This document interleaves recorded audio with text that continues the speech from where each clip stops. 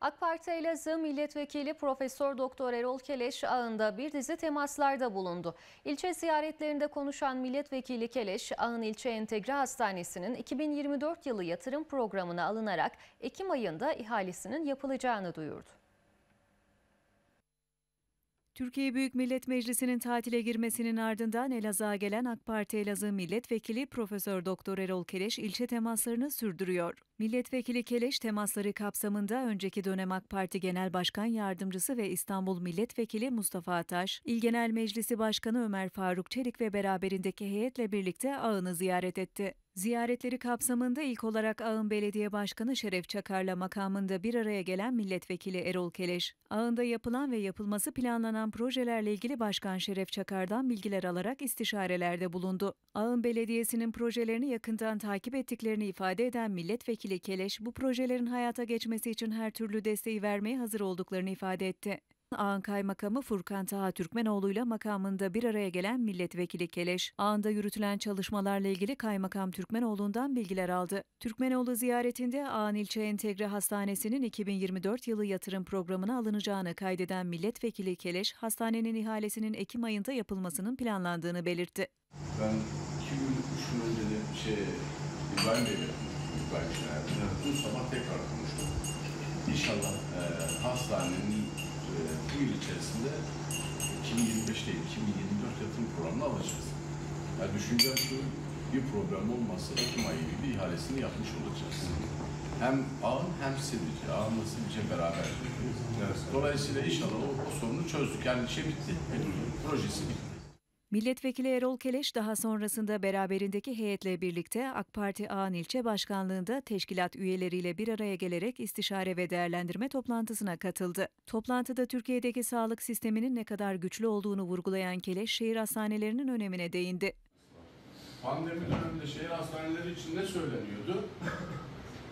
Bir sürü dedikodular yapıyordu ama pandemi döneminde neyin ne olduğunu, bu şehir hastanelerinin ne kadar gereksinim doğurduğunu, özellikle de yine deprem döneminde herkes bunu çok net bir şekilde anladı.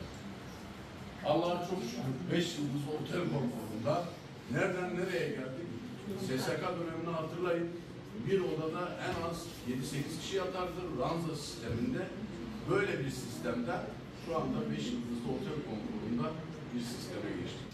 Ağın ilçe ziyareti kapsamında Toplu Konut İdaresi Başkanlığı tarafından ilçede yapımı devam eden 142 konutun ve Ağın Hükümet Konağı'nın inşaat alanlarında incelemelerde bulunan milletvekili Erol Keleş çalışmalara ilişkin yetkililerden bilgi aldı. Ayrıca Ağın Belediyesi tarafından hayata geçirilecek olan leblebi imalatı, badem kırma ve paketleme tesisinde incelemelerde bulunan Keleş, bu tür yatırımların ilçenin ekonomik kalkınmasında büyük rol oynayacağını vurguladı. Ağın ilçesindeki temaslarını köy ziyaretleriyle sürdüren Keleş, beraberinde İl Genel Meclisi Başkanı Ömer Faruk Çelik ve Ağın Belediye Başkanı Şeref Çakar'la birlikte Yenipayam, Pul, Bademli ve Modanlı köylerini ziyaret etti. Allah hepinizden razı olsun. Burada olmaktan dolayı da gerçekten çok mutluyum. Mutluyuz. Ekip olarak geldik. İl Genel Meclis Başkanımız burada. Biliyorsunuz Ağam Belediye Başkanımız, ilçe başkanımız, İl Genel Meclis üyemiz.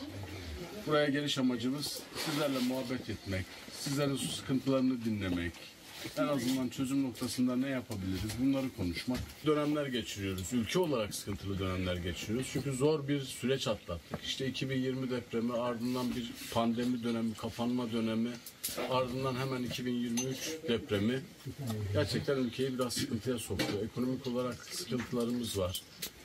Bunların çözüm noktasına da gece gündüz çalışıyoruz. Köy halkıyla buluşarak onların taleplerini dinleyen Keleş, misafirperverliklerinden dolayı köy halkına teşekkür etti. Allah razı olsun. Allah var etsin size. Sağ olasın. Allah razı olsun. Allah bir elini öpeyim. Teşekkür ederim. Allah razı olsun. Sağ olasın.